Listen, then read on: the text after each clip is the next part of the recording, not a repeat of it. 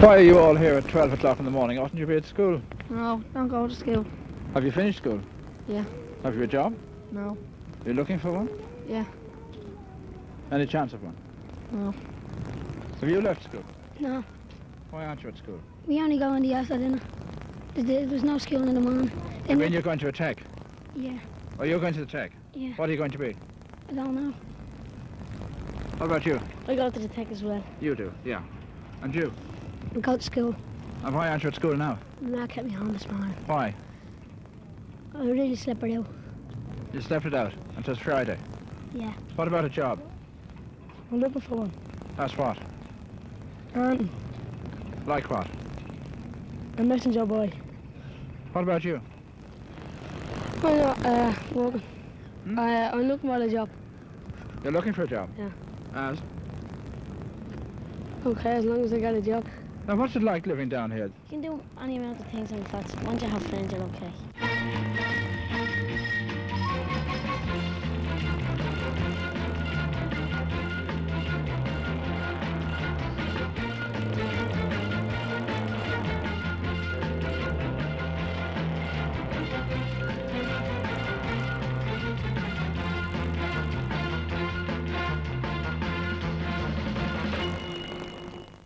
Once you've got friends, you're okay. Don't we all say that? Doesn't mean any more when said by children who live in the heart of the city of Dublin, in the streets behind the docks, in the parish of St. Laurence O'Toole. Children who are hemmed in and seldom see further than the funnels of the ships in the docks, so near the blocks of flats in which they live. Flats like Sheriff Street, less than 20 years old, but already a ghetto. If a woman can't drag a pram up the stairs, she can put it in the ugly, obtrusive pram sheds, which look like the afterthought of an architect who had forgotten about babies. You can admire your neighbor's washing, since there aren't any flowers to look at, and nobody thought of putting a laundry in the basement. A little barbed wire never did children any harm. Besides, kids are kids, and it would take more than barbed wire to damp them down.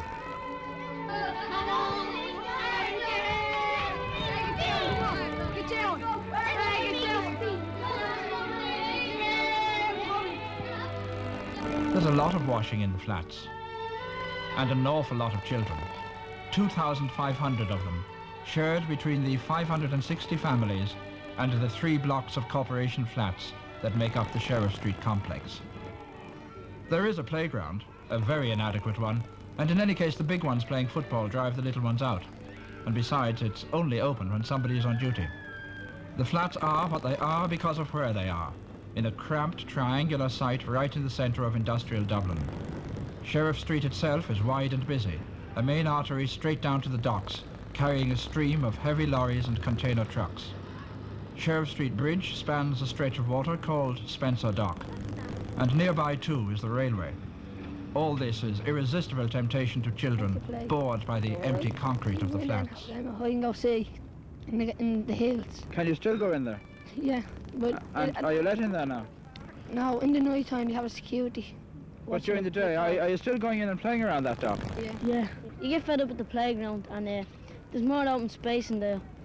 And uh, you can do what you like in there, you know, you're not afraid of breaking windows or anything with a ball or anything like that. And there's plenty of open space. It's just gone to waste, it's just left there. There's no nowhere else to play because if you go out on the road you get a bang of a car and if you're missing in here you get fed up all day. And you can't stay in the flats all day. If you're playing football or something in the flat they say the, all the women start giving out because you're breaking a window or something. There have been a number of drownings at the disused dock involving children from the flats. CIE are legally responsible for Spencer Dock, and they say they have no statutory power to fill it in, since a number of firms still draw water from it. Since the drowning started, CIE have built walls and improved fencing. They have removed barges and bollards which attracted the children, and during the summer they employ a full-time watchman. But all that is little consolation to Mrs. Bernadette Dennis, whose son Georgie was drowned in Spencer Dock. Well, he, he was after being in school that day, and when his school was over, he just came up and left in his bag and went down to play. And he came up then and had his tea. And he went down to play again, and next about half six, the children kept roaring that he was in the water. And I looked out the window, and I seen the crowds just run, roaring up saying it was my lad. We were just down there throwing bricks into the water and uh, Georgie told me to go over to the Moss Bank and I went over for rocks and I came back and I just seen bubbles coming up. And then this lad, Joseph, he, he fell off the roof here about four years ago. And he's got has psoriasis since. He broke out with an nerve rash since. Mrs. Dennis's troubles have not come to an end. Since we filmed this interview, her six-year-old son Jared was hit by a car in Sheriff Street. He was chasing a toy which another child threw out into the traffic. Fortunately, Jared suffered from no more than shock and was discharged from hospital after a few hours. Accidents like that happen in Sheriff Street. Ever since my mind has been a hell to me here, with the other younger children. Anything outside the flats is inviting. A watchman's fire, a passing lorry, a dangerous dock. There are small patches of trampled grass here and there among the flats, but the children are not allowed to use them. Instead, they are provided with a concrete playground which has a few swings and a small pavilion in which two paid helpers do their best for a very few of the toddlers for several hours a day. In this inadequate environment, children turn to delinquency. When denied the opportunity for legitimate play, they assert their frustration by indulging in what we like to call antisocial behavior.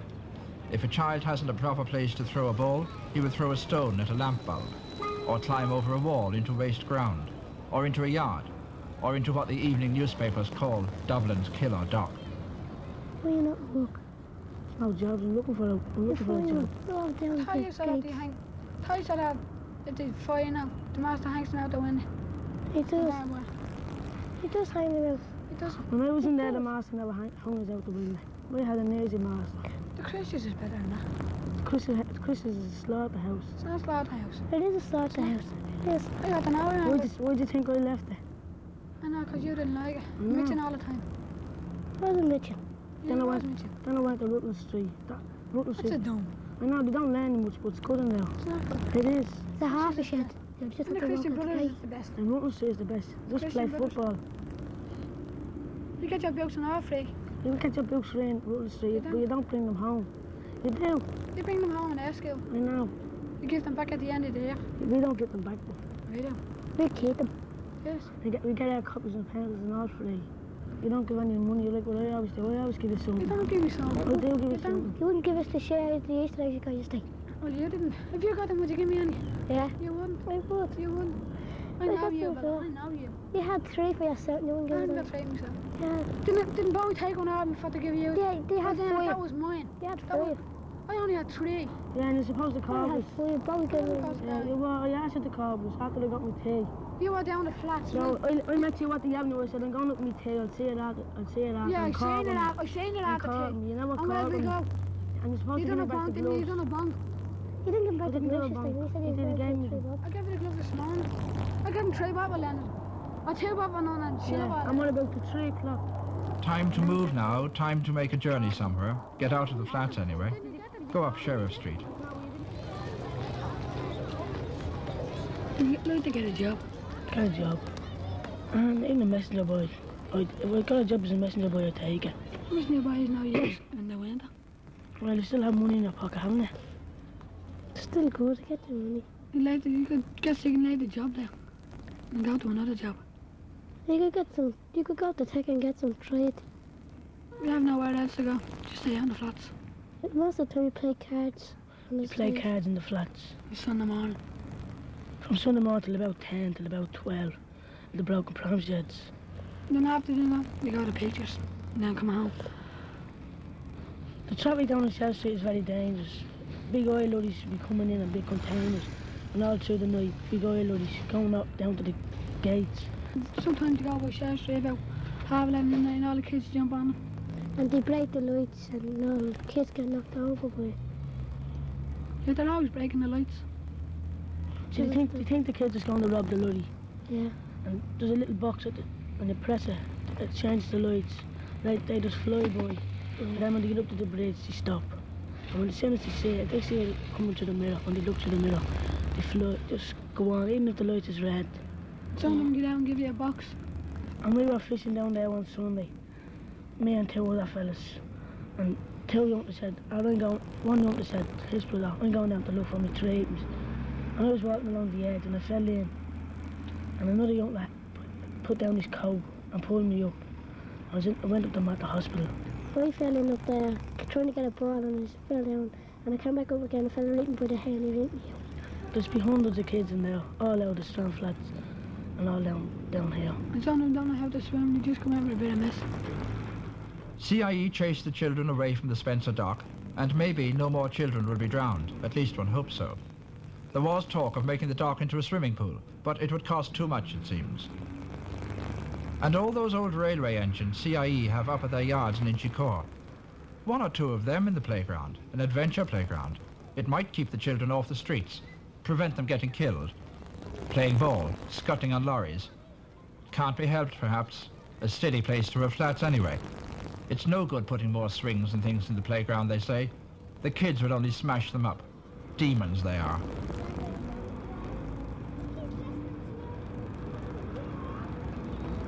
One woman who knows all about living in flats is Mrs. Vera Kavanagh. When she was younger, she was a professional singer.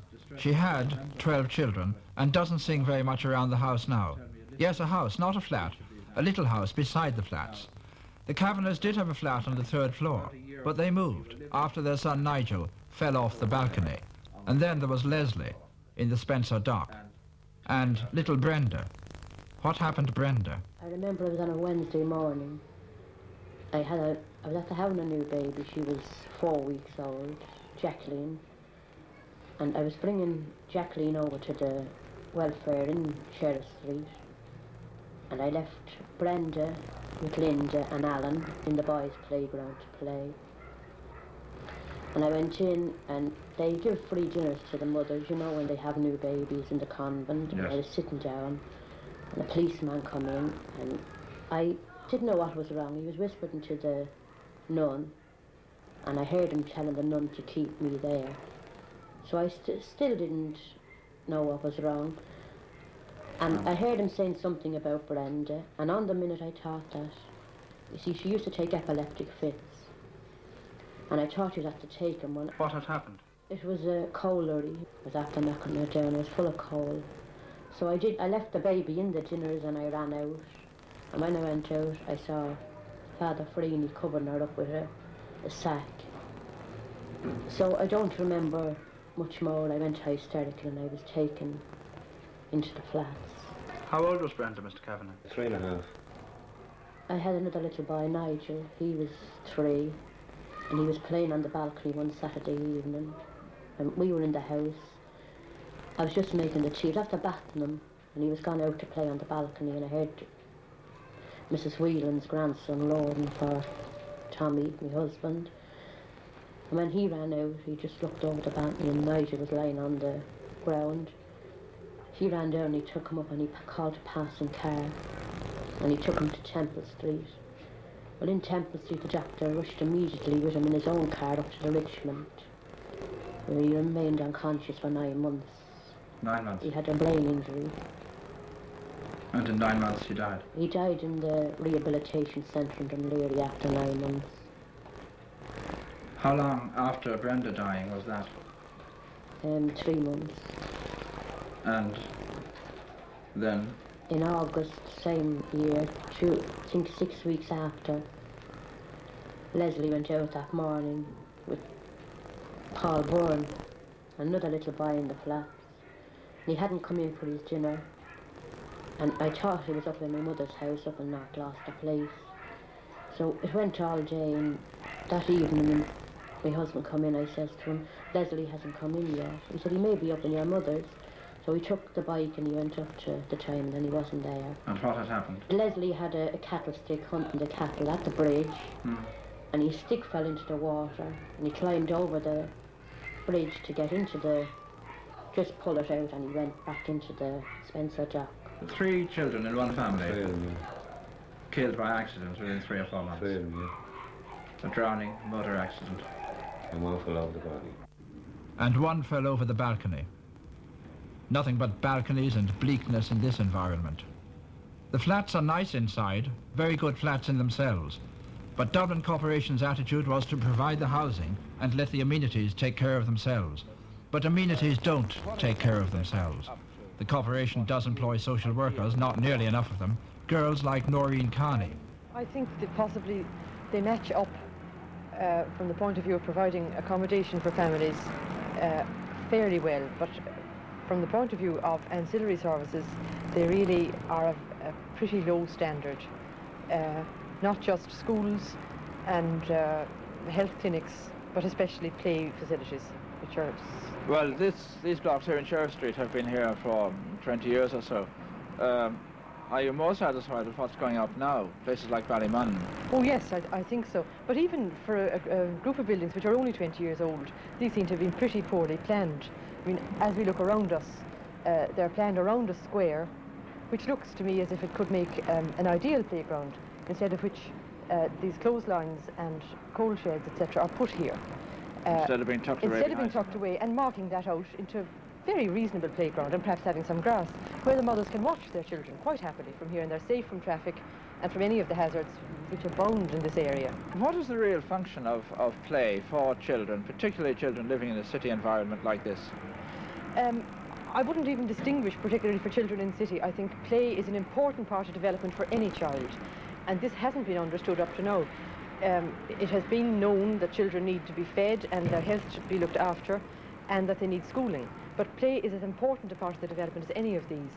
Uh, in order to develop language, a child has to be taught to play, it has to learn to play. Now this can be done uh, in a home which has a garden and lots of other facilities quite easily in a natural sort of way.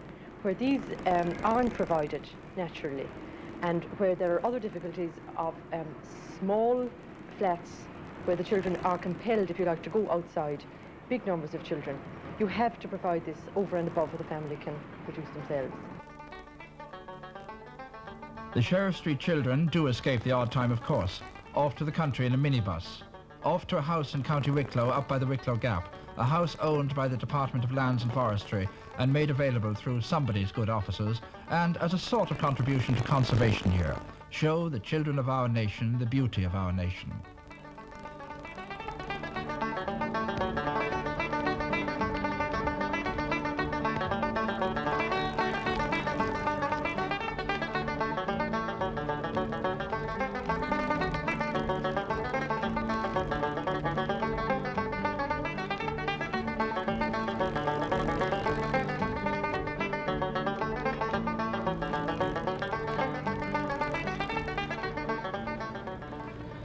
The driver is Louis O'Neill.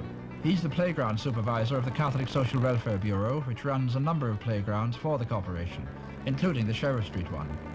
He brings as many boys or girls out to Oakwood in Wicklow as he can. He doesn't seem to mind working through his weekends. A lot of social workers are like that. What do you think you've done here? Oh, play, play. Why? I think you're getting a lot of fun out. Yeah. What's the difference between this and Sheriff Street for fun? Ah, you, you can uh, hoose the sheep and all in here. You can, play. you can play in the water and you can climb the trees and all. I did not miss all the lorries and cars. No, no. They hate them. Hate them now. Hate them. We like the sheep that chase them. Yeah. And we like. And they're all robbers down there and all. The, um, they're nice up here. They like the food too. It's better than Sunday because Yeah, we all, and, um, we all do go out to pictures and all. And we can go on the mountains every day. Well, one of you at a time. What do you say? Well, the, a Sunday all of them go out to pictures in the flats and all. And you and just some of the fellas that do be left by alone. And you won't be, a- we won't be able to go to the pictures now, so we like the, the weekend down here. Uh-huh. Because you can climb the trees, you can um, house the sheep, swing on the rope. What? When you Uh, the sheep, and the you house get is the nice. wool off them. And what? When you hoose the sheep, you can get the wool off. Them. Get the wool off them. We do almost everything Kind down of here. sheep. And what about the farmers? Would they like that? Yeah, they, they, they let us house the They sheep us for house them. them. They asked, them- they asked us would we go down with them to house the sheep. And but uh, they had to stay out all day, so, so we said that we would be able to go. So you'd come back here again, would you? And we like in the farm and we're going on the mountains. Hmm. You They're only for- great. And we do go travelling on the, in the car. Yeah. Hmm. Lovely views and all. Everything Because there's no, no no fun down in the flats. And there's, there's fun down here. See, say, say, say if you let your dog go out on the road and then you, you, you run out after, you could get killed on the road. It's hard to believe, Louis, that there is such a place as Sheriff Street when we're down here and still it's only 35 miles away. You've worked in Sheriff Street a great deal. What are the major needs in a community like that one? Uh, one of the needs which I think a place like this can meet is the need to get out from it. Uh, I think we in Dublin uh, have missed out uh, on the fact that we have a, a most fantastic playground on our doorstep. And perhaps one of the big needs, uh, for particularly for the children in Sheriff Street, is the opportunity to get out uh, as often as possible. When you're speaking of Sheriff Street, you're speaking of a dock area, a number of blocks of flats, uh, heavy traffic coming to and from the docks, the railway, a young population hemmed in, uh, all the dangers and difficulties that go with living in a, an area such as this. Louis O'Neill doesn't yet know about a piece of good news we heard a few days ago. A landowner in Westmeath, Thomas Pakenham, has offered to make available a house on his estate with 60 acres for use by children from Sheriff Street and other areas. Back in the area, Noreen Carney knows that a weekend in Wicklow is fine, but it doesn't go near solving the main problems. It is a question of finance, and I wonder if any of us are prepared to pay more rates and taxes in order that the corporation can provide better housing estates. It might be that land could be made available for the local tenants associations to develop themselves, uh, and and perhaps to be given complete, um, uh, you know, authority to run their own areas, to have a sort of local authority in, in its literal sense. The local schools are overcrowded. The teachers in them fight against tremendous odds. Huge classes, the apathy of parents, old buildings. But now there's a new kind of school for the Sheriff Street children in Liberty Hall every night. It's a tutorial session run by a young American named Joanne Murphy. She's helped by a roster of about 70 volunteers, most of them students. At Joanne's tutorials, there's an average ratio of only six pupils to each teacher. Joanne talks about her work with an intensity born of her American experience. The comparisons between the ghetto that is Sheriff Street and ghettos I have worked in in America were so evidently clear, the social and economic um, gaps that the children are suffering from, um, that I thought it was worthwhile trying to start up the tutorial program, giving the children the chance to have the same kind of relationship with the tutors uh, that I had found fruitful working in America. Your program means that the children come out of the ghetto, as you call it, and come up here to Liberty Hall in the evenings. Uh, to what extent do the local schools uh, approve of your program? Because they must feel it as, in some sense, reflecting on their inadequacies. I think they feel that it's um, a new idea, one that they haven't heard of before, one that they can't necessarily um, um, accept or cope with as yet. Um, I certainly would hope that we could reach the point of close cooperation with the schools because this would be the ideal situation for the children um, if we could have a good working relationship with the schools. What do you hope to achieve in, in this program? I think it can basically be summed up that we want to break down the barriers for the children. Um, we want to draw on their self-creativity. Um, we want to give them the time that they can't have in schools that are hopelessly overcrowded um, and in homes that are hopelessly overcrowded as well. They need time and they need people to give them the time. Some of the tenants in Sheriff Street are giving time to a new tenants association. They are concerned about a wide range of problems, including that of the many children from the flats who appear in the courts. In the police force, there are a handful of policemen called junior liaison officers, whose job it is to keep such children out of the courts. We asked the Commissioner of the Garda Síochána for permission to interview the liaison officer for Sheriff Street. We were refused and told it was contrary to Garda Síochána policy to build up a personality cult in the force.